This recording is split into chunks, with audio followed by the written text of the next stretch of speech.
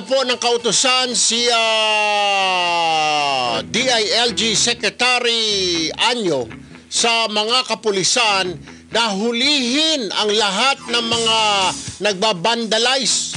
Ah, yung mga nagdo-drawing-drawing sa mga pader, nagpe-painting. Mm. Partikular na itong ah, grupo ng Panday Sining. Pero sa kabila po niyang babala na yan at utos ni ah, Secretary Anyo, nagpalabas pa ng isang ah, mensahe naman ng Panday Sining na ipagpapatuloy nila ang ah, paggagawa nila ng mga art. Mga bastos! Ang ibig sabihin, ipagpapatuloy daw nila ang pagpipintura sa mga pader dahil ito po ay art at gusto ng taong bayan. Gusto mo? What the hell? Ha? Gusto mo yata eh. Eh, yun ang sinabi, ano? Pagsusulat sa mga pader, ito ay isang sining. Oh. At ah, ayon po sa Panday Sining, eh wala silang pakialam dahil gusto ng taong bayan ang kanilang art. Tuloy-tuloy po ang kanilang pagpipintura at pagsusulat sa mga pader. Mga bobo! Oh. Whether you like it or not, engineer, wala ka magagawa dahil gusto mo yan. Sa- sabi na, Pwede sabi ng panda, eh sabi ng panday sining, ipagpapatuloy namin ang ah, aming ah, ginagawa dahil ito ang gusto ng taong bayan. Ayan oh. Oh, no! Yung mga pagsusulat sa mga pader, ha? Mga eh, Duterte, diktador, martialo, labanan ng gera. Mga bastos! Anong gagawin kapag pulis ang kriminal? Eh, yan ang mga kanila mga sining. Eh, Dahil gusto raw ng sambayanan. Ha? Ay, kung kayo ho, tatanungin bayan, okay lang ba sa inyo? Oo. Na ipagpatuloy ng panday sining ang kanilang sining. Dahil gusto nyo raw. Abay, kung gusto ho ninyo, i-text nyo na ho kami. Ha? Kung gustong gusto ho ninyo yung kanilang mga sining, kanilang art, ay wag magatubalit, wag, ma, wag mahiya. I-text na po kagad ninyo sa aming Globe line sa 0906 4925505. Sa Smart naman 0928-265-8796. Yung mga may gusto ng ah, sining o art ng Panday Sining, yung pagpipintura at pagdodrawing sa mga pader, text na kayo. Kung payag kayo na tuloy-tuloy lang nila ang kanilang ginagawang art, ika. Sa kabila ng kautosan na po ng DILG na itigil dahil huhulihin sila, pero sabi po ng Panday Sining, hindi. Kasi gusto ng taong bayan. Kasi gusto ito ni Engineer Randy Mariscotes. Gunggong! Parinig kita sa mukha eh! Anyway, yan po ang mga pag-uusapan natin. Isa sa pag-uusapan natin, bayan. Gusto ba ninyo na ipagpatuloy ng Panday Sining ang kanilang paggagawa ng mga art, pagsusulat, pagdodrawing sa mga pader? Text na po, bayan! Oras po natin, alas 10.33 ng ah, umaga. Well, narito po, aha, nasa linya na po ng aming telepono si Undersecretary ah, Jonathan Malaya ng Department of Interior and Local ah, Government. Magandang umaga, Yusek ah, Malaya, sir. Magandang umaga din po, Sir Erwin, at magandang umaga sa lahat ng tagapakinig natin sa inyong istasyon. Opo, live po tayo nationwide, sir, and then ah, sa radyo, sa Radyo Pilipinas, and ah, of course, live tayo sa worldwide sa pamagitan po ng YouTube and ah, Facebook Live. Sir, ah, nagbigay ho ng kautosan si ah, DILG Secretary Anyo sa PNP na hulihin ang lahat ng mga vandals. Pero sa kabila, kabila nito, sabi po ng Panday Sining, meron na kagad silang reaksyon na ipagpapatuloy nila ang kanilang ginagawa dahil ito raw po ay ah, sining o art na gusto ng taong bayan. Ano po reaksyon nyo dyan, na Yusek? Well, unang-una po kung gusto po ng taong bayan, bakit ang daming sumusuporta sa panawagan ng DILG? Mhm. Ah, dyan, dyan lang po sa social media, ang dami na pong batikos na narinig nila. Mm. Ah, sa mga pahayagan, sa mga jaryot, nababasa po natin na Mm-mm. madami pong sumusuporta. Mhm. Ah, pangalawa po, meron na pong petisyon sa change.org na sinusuportahan yung panawagan din ni Mayor Isko. Mhm. Nakasuhan itong mga ito. Mhm. So, ah, tingin ko po, ah, wala pong basehan yung sinasabi nilang may suporta itong kanilang panawagan. Ah, Mhm, sila mhm. lang naman po ang nagsasabi niyan kasi Mhm. obviously po, ah, hindi naman po kinikiti ng karapatan ng mga organisasyon ngayong bumatikos kung Correct. ano man ang gusto nila. Mhm. Ang sinasabi lang po natin, wag naman po tayo manira Mhm. ng ah, government property or public property. Hindi po ba kasi ang, ang contention din nila yata, I heard one of their lawyers saying, this is still a form of freedom of expression. They're expressing it by writing yung kanilang opinion, yung kanilang saloobin. Can it be considered a form of expression pa rin yung pagbabandalize ng mga pader, uh, Yusek?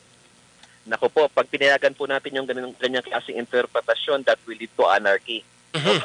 Di lahat na po tayo pwede nang man- manira ng mga kagamitan ng gobyerno Aha. an- an- ng ah, ating kapwa at Opo. sabihin lang natin, I'm just expressing my uh, freedom of expression or free Oo. speech. Opo. So, ah, maliwanag naman po sa batas natin na ang freedom of expression po ay meron pong limitasyon. No? Hindi po yan ah, carta blanche or, ah, or open check na anybody can do anything he wants. Aha. Meron pong limitasyon at maliwanag po sa revised penal code na ang ginagawa po nila ay labag sa batas. So, Mhm. ah, ito po, no, ah, kasi parang sinasabi po nila na ah, sinisingle out natin ito grupong ito. Mhm. No?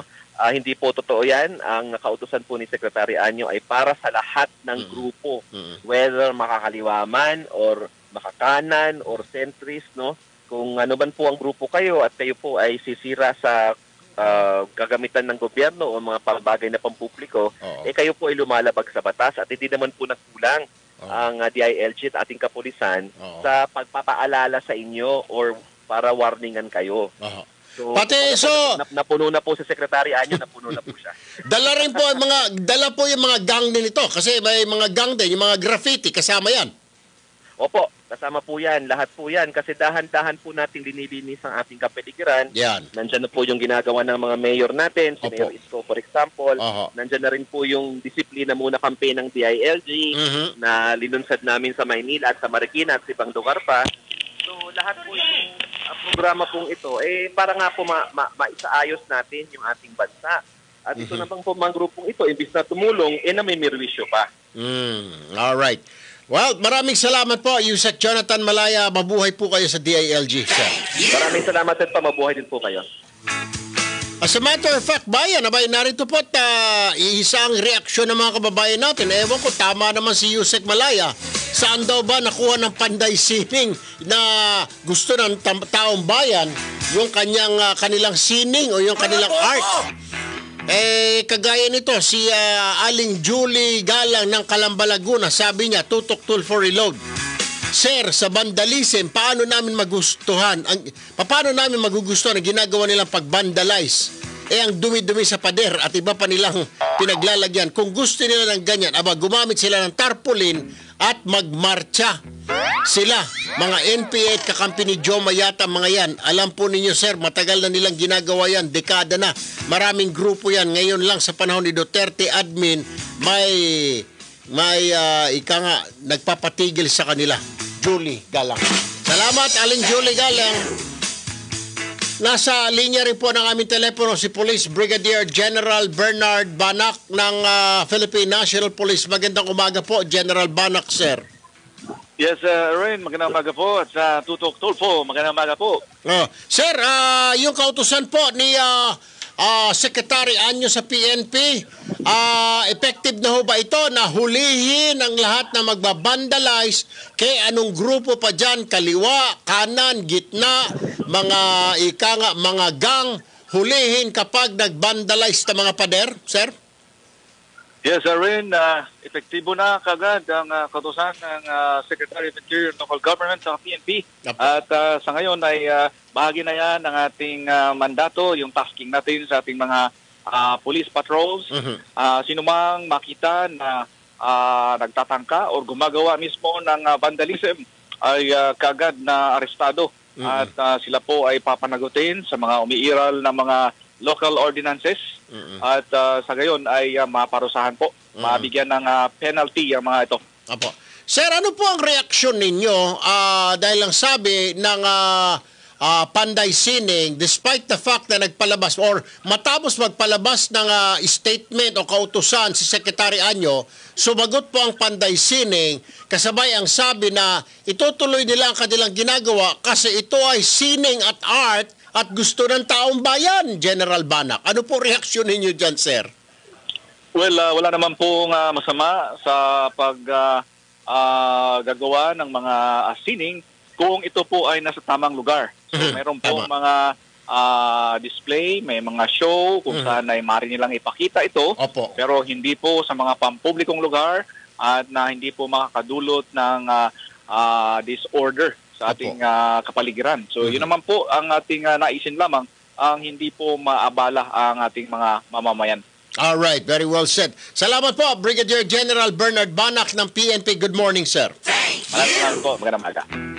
Samantala, bayan, sabi naman ito ni uh, Rodel Decena Libertad, Sir, pinapayagan na nga silang mag-ingay at magprotesta ng saloobin nila. Nakuha pang magkalat at manira ng pader sa Maynila. Dinumihan lang nila pati si Gat Andres, binigyan nila ng armas, mga gago. Puro ayaw at gera lang, puro away at gera lang ang alam ng mga militante na yan. Tapos rally ng rally, ang dami pang mga kalat. Salamat, uh, Rodel Decena. Nasa linya rin po ng aming telepono ngayon si ah, Ma'am Ninya Tadura, o Congresswoman Ninya Tadura ng Axia S Party List. Isa po siya dito na ika nga nagpahiwatig ng ah, disgusto dito sa ginagawa ng mga makakaliwang grupo na ito at mga grupo na naninira ng mga pader, dinudumihan ng mga pader sa ating ah, bayan. Magandang umaga, Congresswoman Taduran, Ma'am. Magandang umaga po sa inyo, paring Erwin, at Merry Christmas po. Ah, ma'am, sabi po ng ah, after nagpalabas si Secretary Anyo ng ah, kautusan na hulihin ang mga nagva-vandalize, abay may sagot po kaagad ang Panday Sining at sinabi nilang patuloy silang ha, mag ah, gagawin nila yung kanilang ginagawa na art quote unquote or sining dahil gusto ng taong bayan. Gusto mo ba ito kung uh, kung ah, ninya? Alam mo, Boss Erwin, paring Erwin, ang pagbabago ay nagsisimula sa sarili. Ayaw. Diba sabi ko nga, alam mo, um, bihira ako magalit eh. Alam mo yan. Oh, yes, Pero yes. Oo. manggigigil ka kasi hindi sila natututo. Kailangan ng talagang ah, bigyan ng leksyon. Mm-mm. Kasi alam mo, ah, para silang gigil na gigil at Mm. ah, sabi ko nga nung huling ah, kausap natin na ano sila eh, kulang sa pansin eh. Ang, ang ano ko nga nito, kasi mga may isang minor de edad. Yung Mhm, mhm. tatlo, of age na sila eh. Mhm, mga mhm. kurang na kung tawagin Yes. na. Yes. Um, kumbaga, huwag kayong nagpapaloko at huwag niyong sirain yung kinabukasan ninyo sa Aha. mga Sorry ah, kasi kung gusto niyo magprotesta, fine. Mm. Gawin niyo yan sa tamang lugar. Ilagay niyo sa, di ba usually naman, eh, nilalagay nila sa karatula. Right. Dalhin niyo yan, magpitpitin Mga niyo, streamer. magpitapan niyo dyan. Yes, pwede niyo gawin yun. Pero yung para ah, dumihan niyo yung pader, Mm. tapos ah, lalo pang dinubid dumihan niyo, di ba yung ah, pagsusumikap ng ating gobyerno Mm. na magkaroon tayo ng kalinisan, Mm. kaayusan, Mm. parang binababoy nyo. Kumbaga, ah, wala na sa lugar, pa, ah, Boss Erwin, di ba dapat isa lugar ninyo? Okay lang naman talaga, wala na ah, sabi ko nga sa inyo, magsisigaw kayo, mag, maghapon, magdamag, Mm. walang problema. Huwag lang yung tutumihan kasi imbis na tumigil pa, lalo kayong nanggigigil. Mm. Parang parang gano'n. At alam ko, ah, paring Erwin, meron ng ano, petition na, Mhm. na 9,000 signatures. Right, right. Oo, para talagang bigyan na ng legal action itong ah, Panday Sining. At alam ko si DILD Secretary Anyuten, eh, nagbitaw na rin na talagang dapat lang na... Kastiguhin. ah, arrest- oo, kastiguhin na, parusahan. Oo. Ah, Itong pero ito. kung abay, ah, mukhang hindi pumapasok sa isipan ng mga kabataan na ito at ah, pinipilit pa na yung kanilang ginagawa raw, ma'am, ay ah, pag sila ay pipigilan, ito ay paglabag sa kanilang karapatan na freedom of expression. Ah, they're expressing their opinion, ma'am, through their art, ika nga. And ginagawa nila ito para makita doon ng taong bayan, inilalagay nila sa mga pader bilang isang sining, ma'am ninya. Alam niyo po, hindi na freedom of expression eh. Mm, Pa- ah, kapag ka nakakapirwisyo ka na. tama. Mm. Yun lang po ang akin. Opo. Ang ang kasi ang freedom eh ano yan eh. ah, free tayo na ano man yung gawin natin pero Correct, kung lumalabag ka na sa batas Oo. kaya nga tayo may batas eh Oo. para meron, meron pong kaayusan ng ating bansa. Tama, tama. Aha. Apo. Anyway, Congresswoman Ninyo Taduran, ma'am, maraming salamat Ay, po. ay Boss Erwin, Yes. pwede po bang Sure. ano, uh, uh, mapila din ako. Um, ah, tawag nito kasi eh, syempre, 'di ba? Sinalan tayo, tayo dan sa Bicol. Alam ko nagpunta ka sa Bicol, Aha, aha. sa Iriga. Aha. So parang panawagan ko na rin, wala talaga totally walang signal doon at ang Aha. CIS po pupunta doon over the weekend para magbigay tayo ng relief. Yun lang po ang Akalain mo yan. ko. Nako, ay, Opo, ano, kailangan anong araw natin- po yan, ah, Congresswoman Ninya? Ah, at Um, saan? Banda? Opo, linggo po, eh, dinidetermine pa po namin kasi heavily damaged po talaga ang Iriga, ang Nabwa, mga catch basin po yan. Aha. At po walang communication. Mhm. Buti na lang yung legal team natin, Mhm. um, andoon sa pili, sa pili lang ang may signal na nakausap ko. Maging siya, gusto nang tingnan din yung mga kababayan natin doon. Kasi ah, totally walang signal, di mo Ayun. makausap. Ayun, okay, okay. Pero, ah, kumusta naman ho doon sa inyong lugar? Kong?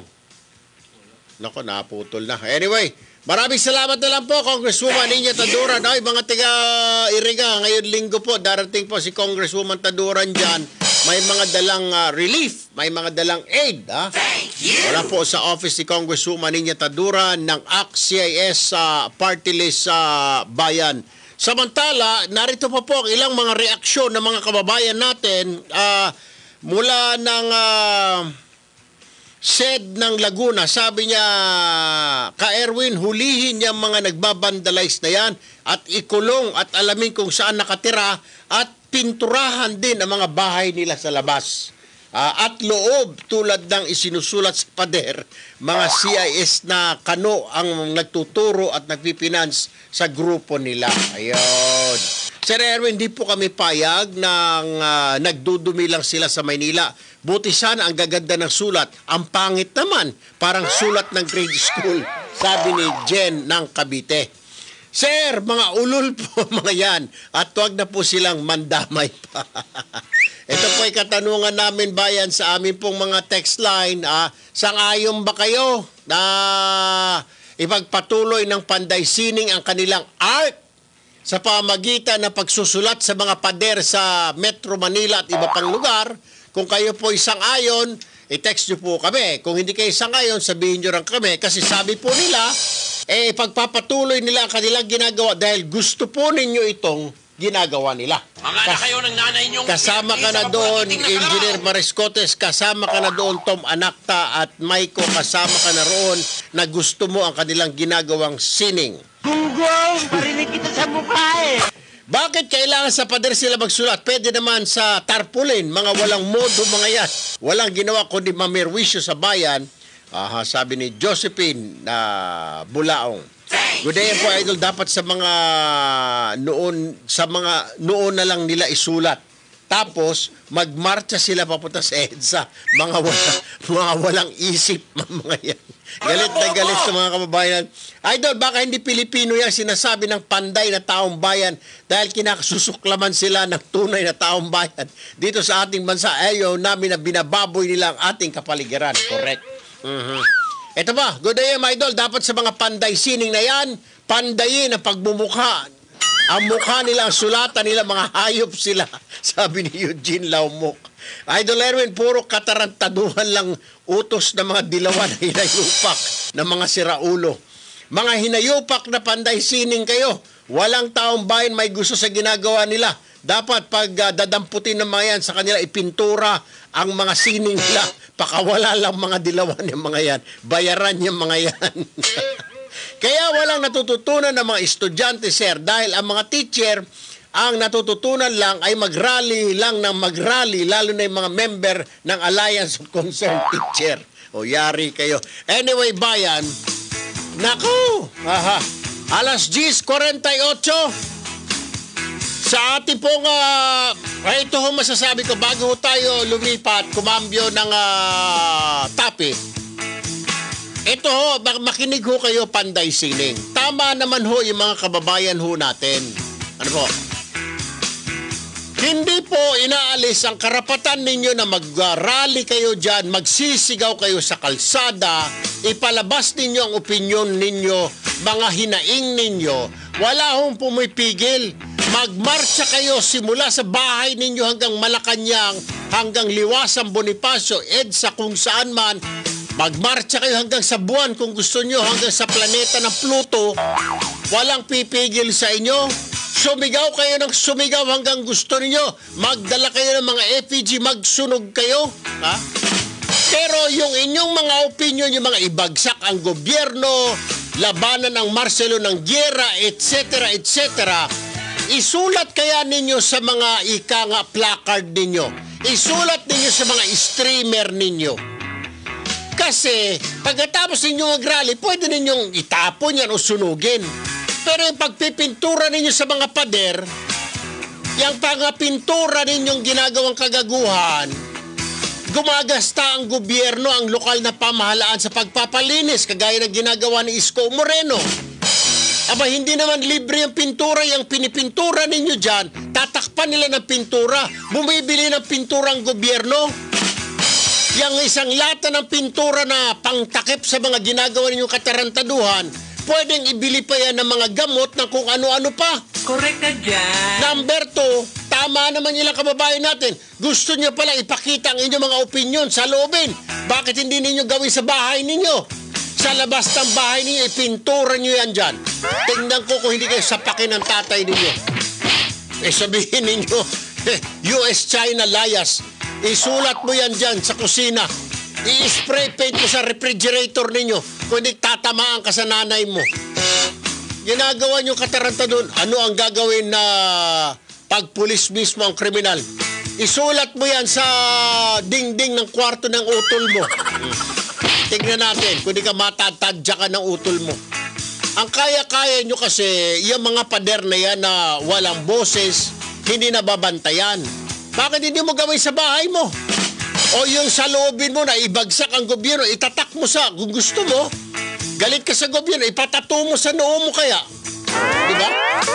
Ipatato mo sa noo mo para sikat ka. Para kahit saan ka pumunta, makita ng taong bayan na galit ka sa gobyerno. Bakit ilalagay mo dyan, dyan sa mga sining na yan, buburahin? Yan ang tunay na sining, yung tattoo. Tattooing is an art. Eh bakit hindi mo ipatato sa noo mo yan? Oh, na labanan ang Marcelo. Ilagay mo ito, labanan ang Marcelo. Oh. Kontra kami kay Duterte. Ilagay mo dyan sa pisngi mo dyan. Kontra kami kay Duterte. Oh. Diyos ko mo. Eh, yun talaga ang tunay na sining. Ang tato. Natural. Oh. Yun ang tunay na sining. Kaya marami mga kababayan tayo nagpapatato because it's an art. And I believe in art. Ngayon, kung gusto niyo ng art panday sining, sa mukha ninyo, itatak ninyo yan. O, US-China, layas. O, lagay mo dito sa kalawang pisngi mo.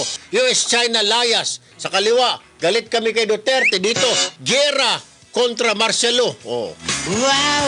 Ang lupit o total, meron pa yung baba mo. Lagay mo naman dito. Ah, anti-Duterte, lagay mo rin dito. Sa ilong mo, pwede rin. Lagyan mo ng ah, mukha ni Pangulong Duterte kung galit ka. O, dito nga lagay. Marami kang tulang pa rin. Eh, ah, presyo itaas, sweldo ibaba. Ah, presyo ibaba, sweldo itaas. Lagyan mo sa liig mo. O. Oh, at least, eh, yun talaga art.